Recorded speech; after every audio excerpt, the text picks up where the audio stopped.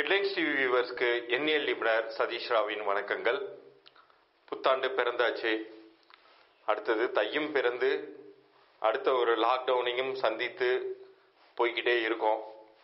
பிப்ரவரி மாதம் பலன்களை பற்றி பார்க்க போகிறோம் நிச்சயம் வந்து எல்லா எண்காரர்களுக்குமே ஒன்று முதல் ஒன்பது வரைக்குமான எண்கணித எண்களில் பிறந்திருக்கிற ஒவ்வொரு எண்காரர்களுக்குமே இதுல வந்து நல்லது நடந்துராதா? அல்லது நமக்கு ஒரு விடிவு காலம் பிறந்துராதா? அப்படிங்கக்கூடிய ஒரு முனைப்புங்கிறது ஒரு ஏக்கம்ங்கிறது இருக்கவே செய்யுது. அது கண்டிப்பாக பூர்த்தியாகும். இந்த வருட இறுதிக்குள் பூர்த்தியாகும் அப்படிங்கக்கூடிய ஒரு நல்ல செய்தியை செய்- சொல்லி துவங்குகிறேன். வழக்கம் போலவே இந்த பதிவிலும் இந்த மாத ப- பலன்கள் பதிவிலும் உங்களுடைய பிறந்த தேதி எண்கள் அடிப்படையில் மட்டும் அல்லாமல் ராசியின் அடிப்படையிலையும் உங்களுக்கான பலன்கள் எப்படி இருக்கும் அப்படிங்கிறதையும் நான் சேர்த்தே சொல்வதாக இருக்கேன் ஸோ அந்தந்த ராசிக்காரர்களும் இந்த பலன்களை பார்த்து பயன்பெறலாம். கூடுதலாக இந்த பதிவின் முடிவில் உங்களுக்கான இலவச பொது பலன்கள் வழங்குவது பற்றி ஒரு சில குறிப்புகள் இருக்கும். உங்களுடைய பெயருக்கு உங்க பிறந்த தேதி கூட்டு எண் பொருந்தி இருக்கா அதே போல உங்களுடைய வியாபார பெயருக்கும் உங்களுக்கும் ஒரு லக்கு ஃபேக்டர் அப்படிங்கிறது இருக்கா? அப்படிங்கிற பற்றியெல்லாம் ஒரு சில குறிப்புகள் இந்த பதிவின் இறுதியில் வரும். அதை நீங்கள் கேட்டு அதன்படி செயல்பட்டால் உங்களுக்கான இலவச பொது பலன்கள் வழங்கப்படும். சனி கிரகத்திற்குரிய எட்டு பதினேழு இருபத்தி ஆறு இந்த தேதிகளில் பிறந்த உங்களுக்கும் சனியின் வீடுகளான மகரம் மற்றும் கும்ப ராசியை சேர்ந்தவர்களுக்கும் பிப்ரவரி ரெண்டாயிரத்தி இருபத்தி இரண்டு எப்படி இருக்க போகுது அப்படிங்கிறத பார்ப்போம். இந்த மாதம் பிறக்கும் பொழுதே அது செவ்வாயின் ஆதிக்கத்தில் பிறக்குது.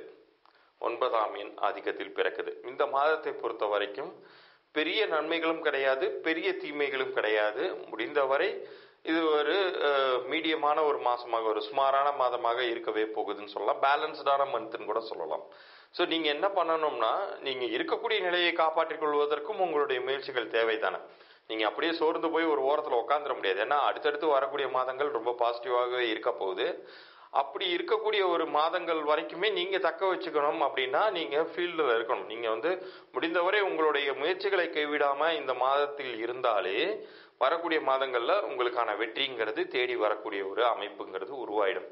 ஸோ இந்த மாதத்தை பொறுத்த வரைக்கும் வியாபாரிகள் ஒரு பெரிய இன்வெஸ்ட்மெண்ட்டை நோக்கி போவதோ அல்லது அதிகப்படியாக கடன் வாங்கி முத முதலீடு செய்வதையோ நீங்கள் வந்து தவிர்க்கணும். ஏன்னா பணம் காசு பொறுத்த வரைக்கும் தான் பெரிய அளவுக்கு லாக் பண்ணும் இந்த மந்த் நீங்க பெரிய அளவுக்கு கடன் வாங்கக்கூடிய சூழ்நிலைகளை உருவாக்கி கடனையும் பெற்று தந்துவிடும்.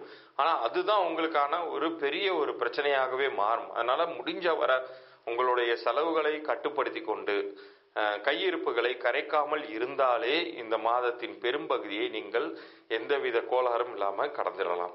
குறிப்பாக இல்லத்தரசிகளுக்கு ஏதேனும் வாங்க வேண்டிய அத்தியாவசிய தேவை இருந்தால் மட்டுமே உங்களுடைய கையிருப்பை செலவு செய்து அந்த பொருளை வாங்குங்க. இல்லாட்டினா அதுக்கான எந்தவித ஒரு பிளானிங்குமே வச்சுக்காதீங்க. பெருசாக செலவே பண்ணாதீங்க. அது தங்கமாகவே இருந்தாலும் சரி. இப்ப நீங்க அதிகமா காசு கொடுத்து வாங்கி வச்சிருப்பீங்க. அடுத்த மாசமே பாத்தீங்கன்னா அந்த தங்கம் விலை இன்னும் கம்மியாயிடும். ஐயோ அப்போ வாங்கியிருக்கலாமேங்கிற நினைக்கிற மாதிரி ஆயிடும். அதனால் முடிந்தவரை கையிருப்புகளை நீங்கள் கரைத்து கொள்ளாத ஒரு மாதமாக இதை நீங்கள் பார்த்து கொள்ள வேண்டும். உத்தியோகஸ்தர்களை பொறுத்த வரைக்கும் இதே நிலை தான் இருக்கக்கூடிய கம்பெனியை விட்டுட்டு வேற ஒரு கம்பெனிக்கு நீங்க முயற்சி பண்றீங்கன்னா அது வந்து இந்த மாசத்துல வேண்டாம் வரக்கூடிய மாதங்கள்ல அதற்கான ஒரு நல்ல வாய்ப்புங்கிறது உருவாகும்.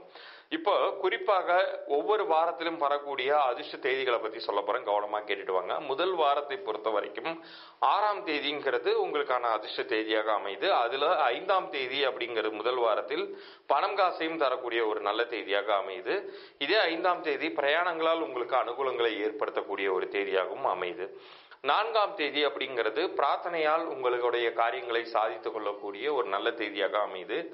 இந்த தேதியில உங்களுக்கான இஷ்ட தெய்வ வழிபாடை நீங்கள் வைத்துக் கொள்ளும் பொழுது அது உங்களுக்கு நல்ல பலன்களையே உருவாக்கும்.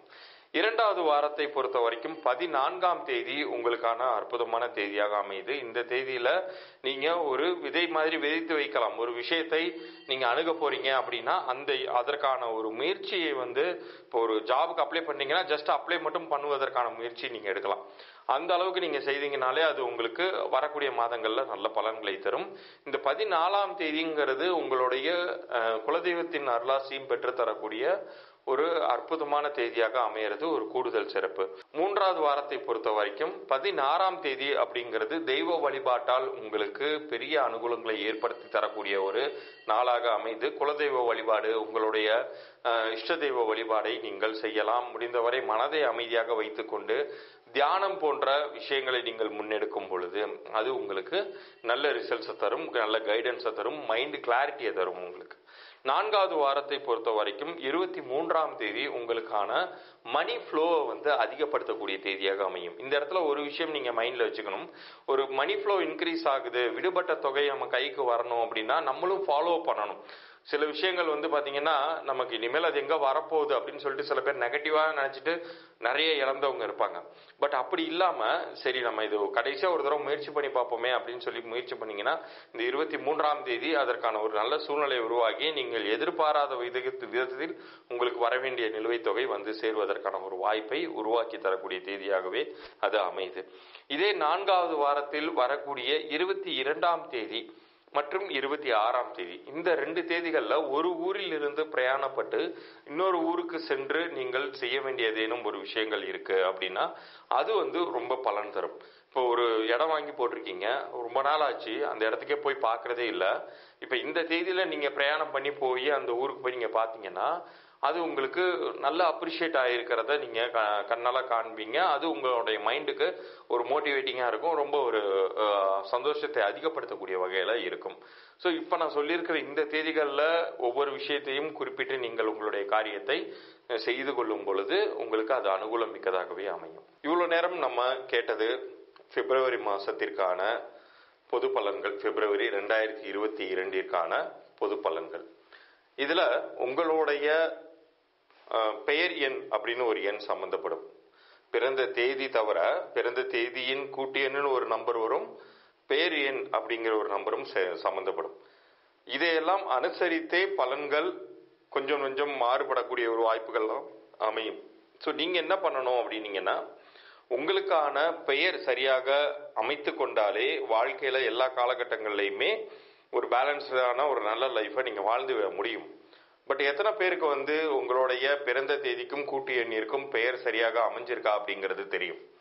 அதை தெரிந்து கொள்ளணும் அப்படின்னு விரும்புனீங்கன்னா ஹெட்லைன்ஸ் டிவியை சப்ஸ்கிரைப் பண்ணி உங்களுடைய பெயர் இனிஷியலோட உங்களுடைய பிறந்த தேதியையும் கீழே தெரிகிற என்னுடைய வாட்ஸ்அப் எண்ணிற்கு அனுப்பணும். தயவு செய்து வாட்ஸ்அப்கே மெசேஜ் அனுப்புங்க கமெண்ட்ஸில் போடாதீங்க.